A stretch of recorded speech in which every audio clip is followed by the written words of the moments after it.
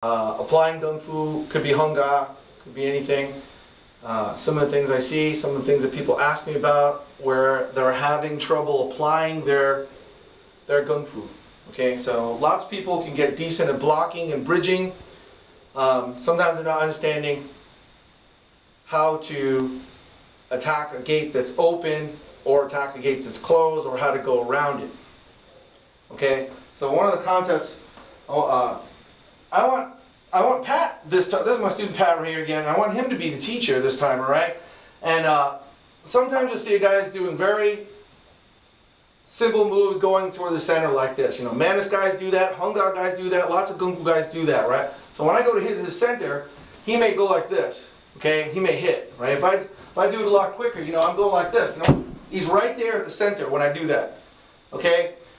The mistake, and I hope you can catch this, okay? He's a teacher, I'm the student, I'm trying to make him look good.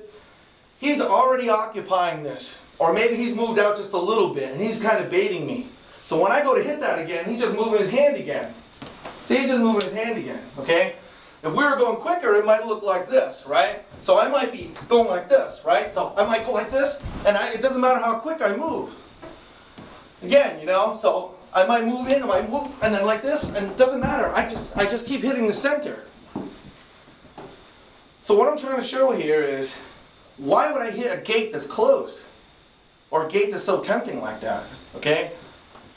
Better, if I go like this, and he's hitting right at the center like that, uh, excuse me, he's blocking and he's occupying the center better than me.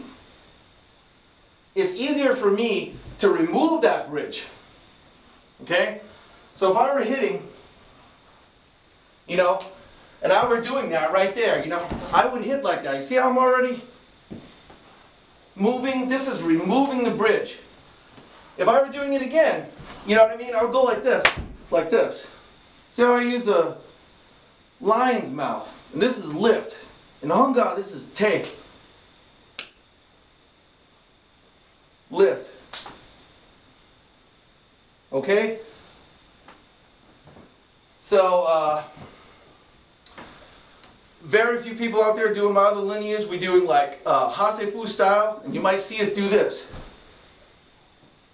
We are taught classically to do like this. There's this hand. I might go like this. From the same bridge, if I were going like that, you know, and then he's, he's going like this. Right here. When, when I'm going right here, you see how I'm just... see what him to his waist? Go ahead, put your hand in the way. But that's a weak bridge for him right here. Okay? So when you see the guy's going like that,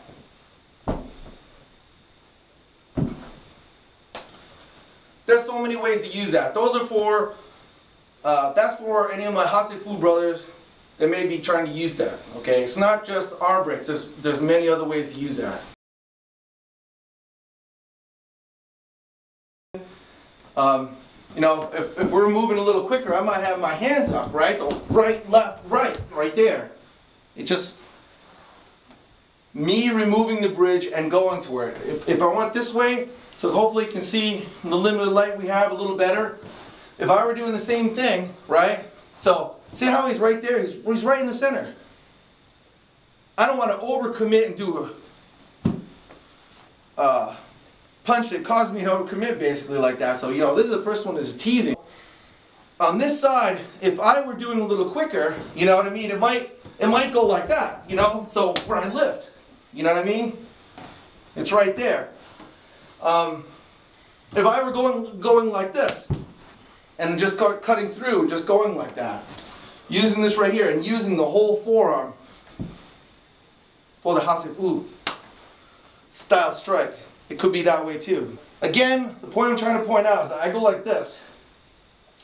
If he's already occupying my center, he's covered himself, and he's got good structure in the bridge, I will not just remove my hand and let him hit me, obviously, right? And I'm certainly not going to try to dance around that, and all he's got to do is that. Okay? This is like a spear or a knife or uh, anything offensive in nature is facing right at me. Even if it's like this, it's kind of close. So I have to address this before, you know, I go like that, I have to address that before I go like that. I have to address it before I go like this. I can't just try to hit around it. That that's a mistake, right? So people wondering, oh, uh, the teacher looks so good. You know, he blocks everything. You know, well, it makes it nice when the student is putting it easy for him in any of the right spots, in all the right spots. Okay, so uh, something to watch out for. Someone had asked me before about openings and how to move. Okay, like that.